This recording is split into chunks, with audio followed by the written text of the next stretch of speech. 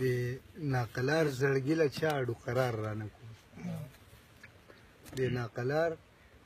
زړګي له چا اډو قرار رانه کو تا را لېږلی او منمه خو رېبار رانه کو ډېر ښه ډېر ښه او زما وجود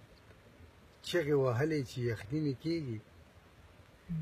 زما وجود چکه وهلې چې یخنی مې کېږي کور کې صادر زما د رو رو خو رندار را نه کو ډېر ښه بیا وایه زما وجود چکه وهلې چې یخنی مې کېږي کور کې صادر زما د رو رو خو رندار را نه کو او ما به هم خپل لس پوی کړی وي د ژوند په معنا ما به هم خپل لس پوی کړی وي د ژوند په معنا خو وخت مختصر او خلی ډیری وي چاوار